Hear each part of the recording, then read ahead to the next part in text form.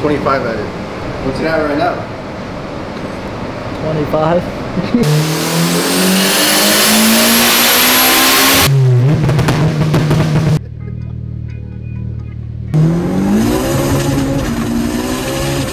What's up guys? We're ready today. We got a Honda, our favorite. Anyways, today we got an EG VTEC. No, I'm just kidding. We don't have any VTEC today. What motor is this? This is a uh, Okay, so it's uh, a LS motor. It's got a CSS block. What compression pistons? No idea. No idea. So turbo pistons, I'm guessing, around like nine. Huh? Nippon pistons. Okay, so usually those are like 10 and a half, depending on which ones they got. Brian Crower regrind cams. This is a China 35R. Anyways, somebody reworked the turbo, but they used to have these MTA turbos online that I used to run back in the day. This looks like a 35R frame, 2200cc injectors, and um, nice radiator. Let's see, we're gonna throw on the dyno today. We're gonna be running boost by gear and see how she does. There's no VTEC. The only um, limiting factor I see are the stock fuel lines.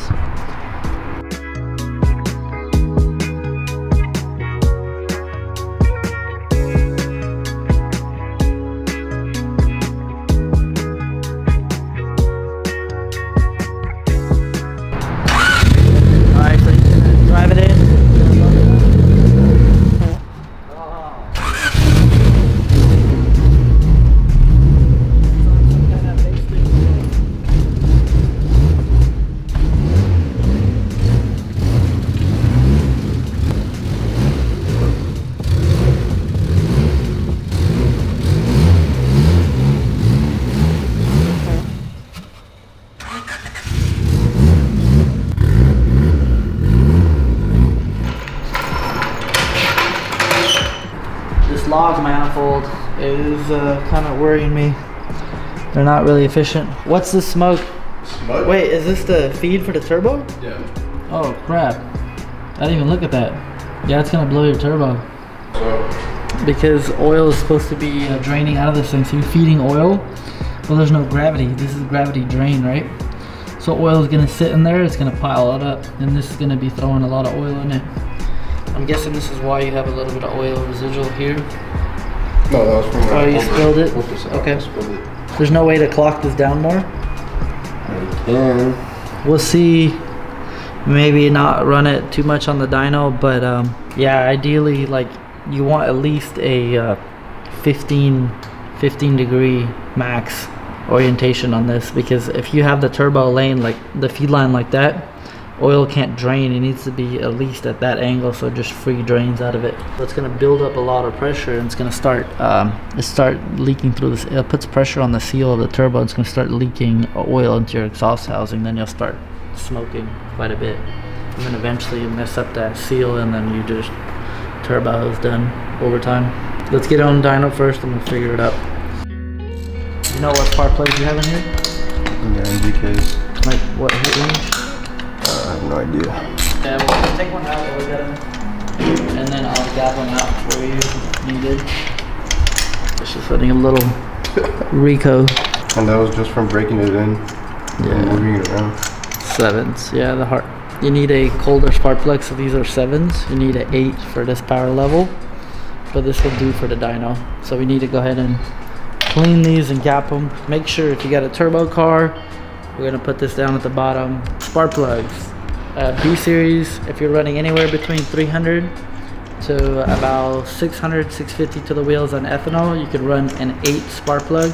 That's a heat range eight. Uh, gap them down to 20. Just a 20 is a little excessive, but 20 will get you up to about 850, 900 to the wheels. And then if you're running anything over 650 to the wheels, um, on the 85, I would go with the seven spark plug. I mean, with the nine spark plug, and then anything over a thousand, obviously, I'd run the 11 spark plug. So yeah, all these are kind of fouled out. So we'll gap these down to 20, uh, clean them up, and we'll continue tuning. Mm, that's roughly like 20-ish, about 20. Alright, cool. Here, this one's done.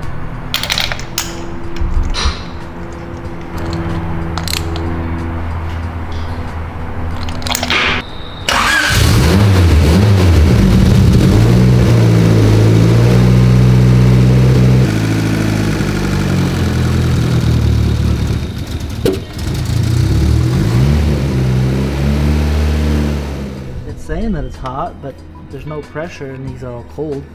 Your gauge in the um, the ECU is saying it's 140, but the gauge is saying that it's past. Oh no, the gauge on the dash is not accurate. Oh. Party time.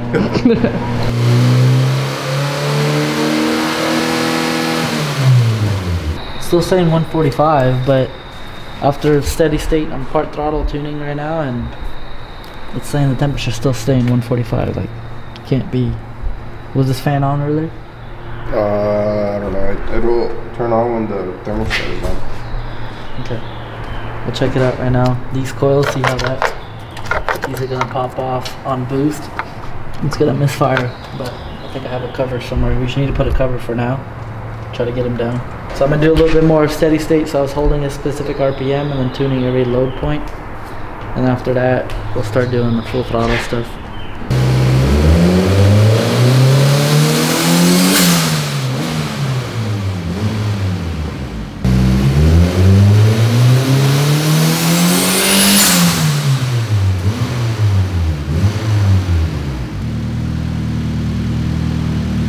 That's it. What's the spring on the wastegate, you know? Because right there it made 20 pounds. Oh, what the hell? Hold on, hold on, hold on. This is all wrong. Hold on. Never mind, I found your issue. Why is this off? Oh, this came off. That's not good. See that? Yeah, you see how like that? This this is the wrong vacuum line. This is not high temp stuff. It's very brittle. It'll break. So ideally, this will work, I guess, for the dyno, but port one, port two, make sure. Okay, another way you can test your wastegate if it's good, you can blow on this.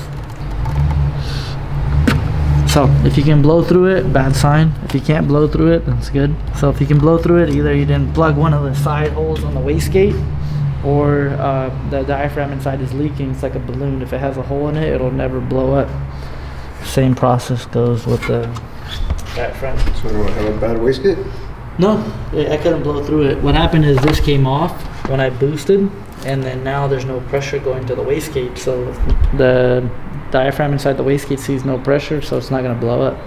So pressure is like same. The diaphragm literally works like a balloon. Like air pressure goes in there, and then it'll blow up. Once it blows up, let's say spring pressure is 10 psi. Once it gets to 10 psi, it'll overpower the spring pressure and open up the wastegate and dump all the exhaust gases out. And then with this, on high boost side, we're gonna lie to it. We're gonna take the pressure from the top and send it to the bottom. I mean, from the bottom to the top to make all the boost that we can. So let's put some zip ties on these and we'll to go.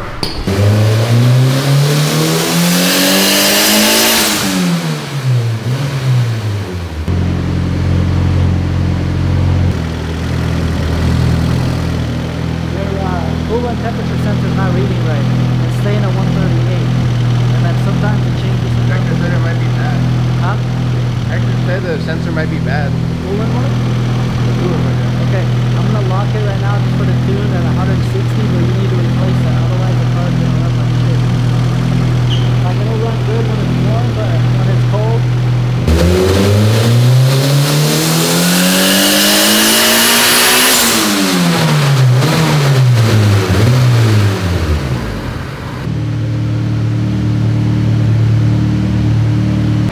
So I wasted a little bit of time trying to figure out the coolant temperature sensor. It, kept reading at 138. Sometimes it read 150, sometimes 160. So it kept going into coolant temp enrichment tables. So I had to try to figure that out. I came to the conclusion that the coolant temperature sensor is wrong. So I'm just gonna lock it here at 171. He needs to replace that temperature sensor. Otherwise, when the car is cold, she ain't gonna want to start. And when it's warm, if the temperature keeps bouncing around, she's not gonna want to run right. So a new coolant temperature sensor will fix that. Right now we just made 355. She is actually creeping on boost at 14 pounds. Gonna give it a little bit more fuel and we should be good to go. Yeah, so that temperature sensor right there was um, throwing me off because it would go rich, lean, it would go rich, lean because it would go, um, coolant temp would say that it was hot and then it would say cold even if full throttle is alternating. So I disabled the coolant temperature and I locked it at 171 but you need to replace that Okay, yeah. because. ECU so when the car's cold the ECU needs to know that it's cold that Uh-huh. way it'll fire up and stuff like that so it made 355 right now 14 And it's gonna keep going? I hope so. no, she will.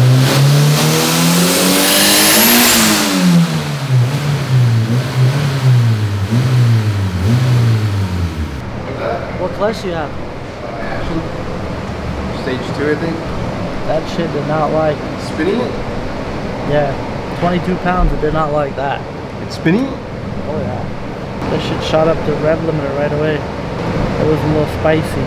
Oh, but this shit's not broken in, huh? Huh? The clutch's not broken in? No. Oh, might need to break it in. But she was spicy. That was 22 pounds. Three uh, 275 torque. How much power can this um, clutch handle? What? How much power can this clutch handle? You see that power right there? You can look at the graph. So you can see that gray graph here. And then right now I turned it up. So it picked up like easy boost on the low.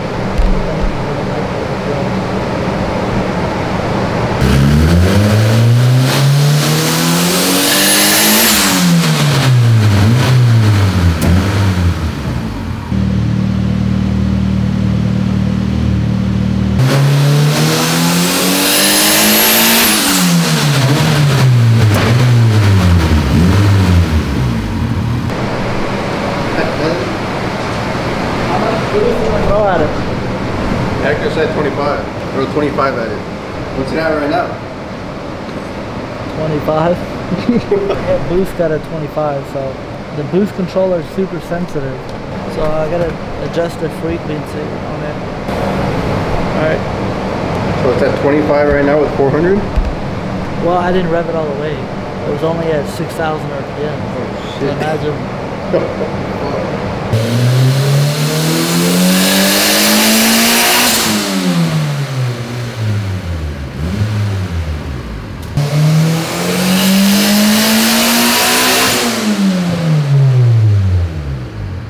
Oh, what the fuck? Hold on, hold on. What the fuck happened? Oh, no wonder. Wait, what? How the fuck did she open up? Look at that. Uh, no wonder my boost control. yeah, it popped off on the turbo side. So that's why those stupid things not working. Yeah. Let me fix it. I'm not happy about those coils. I'm surprised it's not actually misfiring.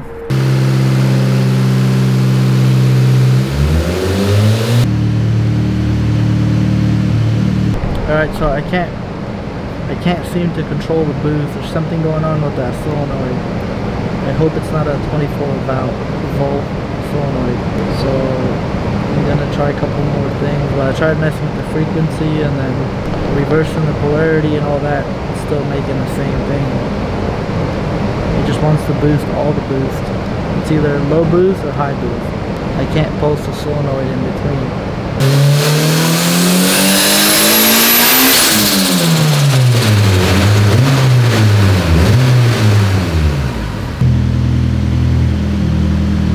Twelve volt. Okay, that's good. But why can't I control it? I can't control the boost right now, so I'm trying to. Oh, motherfucker! That's why.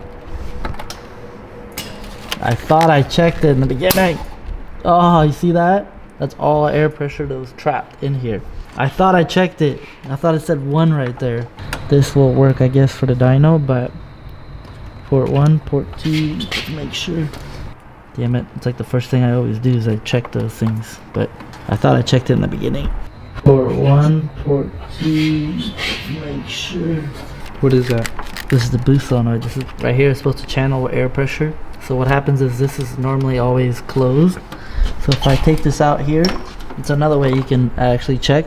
So if I blow through here, see you can't blow through it. But this one, if you blow through this one, you can blow through it and it come out it comes out of here.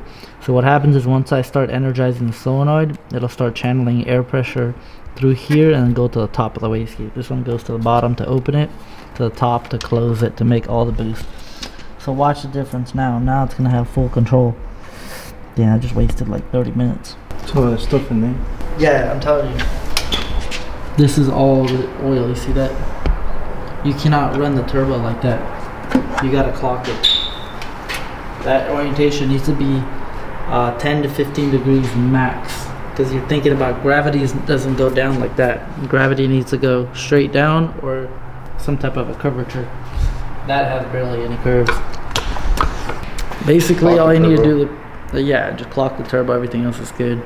So we've we gapped the spark plugs. We um, right now the I just rerouted. I don't know. I literally checked it from the beginning, and I was like, okay, that's one, and that's two. That's one. That's two. I even should have like fine checked it. Now she will work.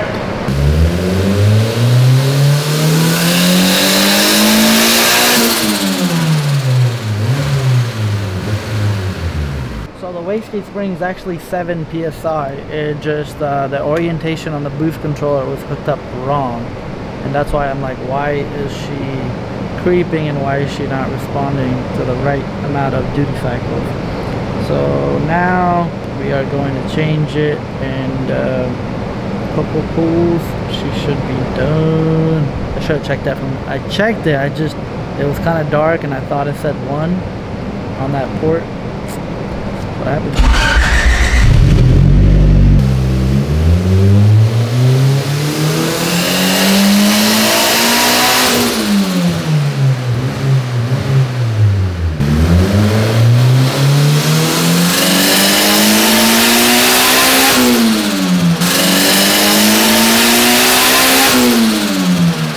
Now, fix the boost controller issue. Now, we are, um, this popped off on the blow off valve. Blow off valve has a similar thing. It's got a diaphragm in there and uh, vacuum opens it and boost closes the diaphragm. So this one, the boost line came off. So the blow off valve was actually opening up on spring pressure and it was bleeding boost here. And that's why you saw it all flopping around on boost because this was probably was blowing it all out.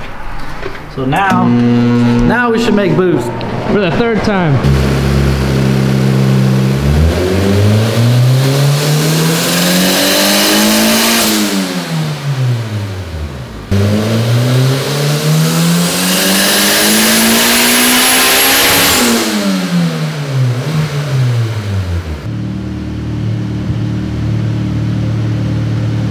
because the spring pressure is low, it's like an 8 pound spring, it's going to have a hard time making past 20 pounds of boost. Ideally, you can only make about 2 to 3 times the spring pressure with the wastegate. So if you got a three traditional 3 port uh, boost controller, you can only make about 2.5 to 3 uh, times the spring pressure depending on how much back pressure you have because he doesn't have a tubular manifold, um, he's got a log style manifold, it's to have quite a bit of back pressure. So uh, right now at 70% um, uh, duty cycle on the solenoid, we're only making about 20 pounds of boost. Right now, that's pretty much maxed out.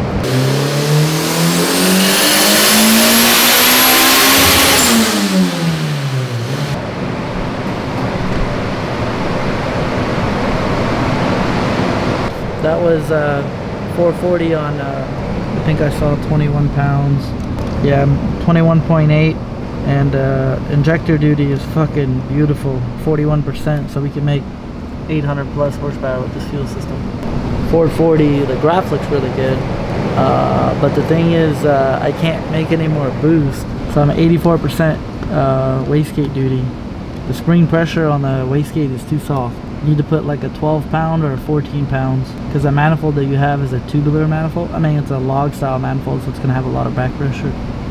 But you can see your graph, your graph looks just like your fuel map. And that's how it's supposed to look when the motor is breathing right. Uh, shit. See, 87 on the, let me see, how can I cheat this? Dude, I'm surprised this thing's not misfiring. So now I can control boost, everything else good. This motor is actually very happy. There's no coolant pressure here. Was she smoking at all in the back or no? No? Good. Turbo has a little bit of oil, but I think just clocking it will fix that. Let's see, what else, what else, what else, what else? If I can put a nitrous jet right Is here. anything? Huh? No, that shouldn't be a boost leak. I don't think so. It has no vacuum there. Otherwise, the idle would be like super high. I don't think that's a boost leak.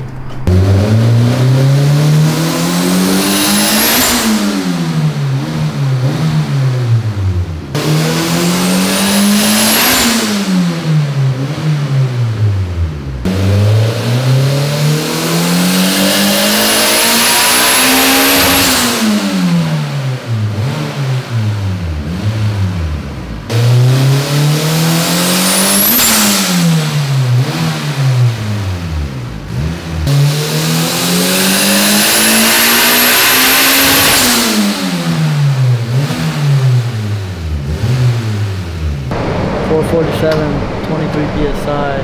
But I can't get any more out of it. 22 pounds making 447, but that's maxed out. So I'm gonna try to do like one more, but that's it.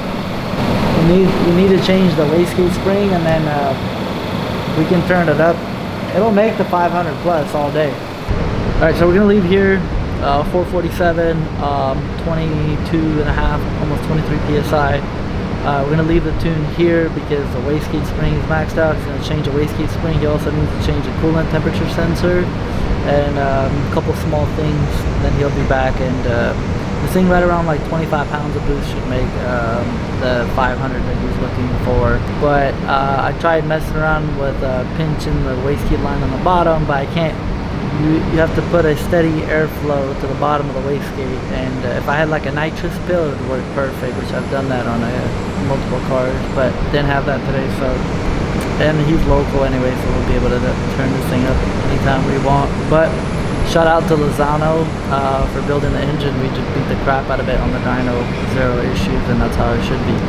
Uh, broke it in for the first part when I was doing the drivability tuning holding a steady state specific RPMs so now we're just gonna do the launch control, boost by gear, and he's on his way.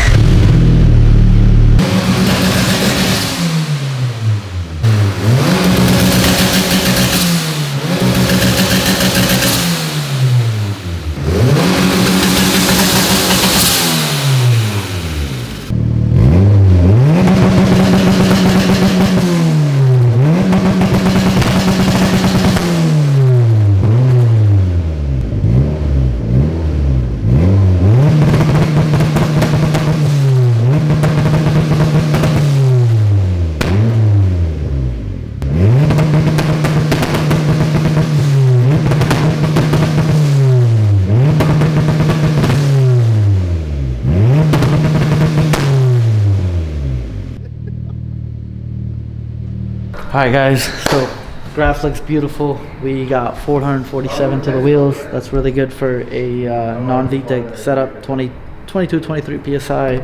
Um, we ran out of spring pressure there. We tried to do a couple things, but anyways, we're gonna leave it there for now. Graph looks beautiful. Right. can show Casey graph now.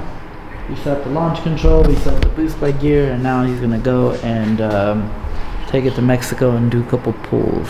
See how she runs. We're out.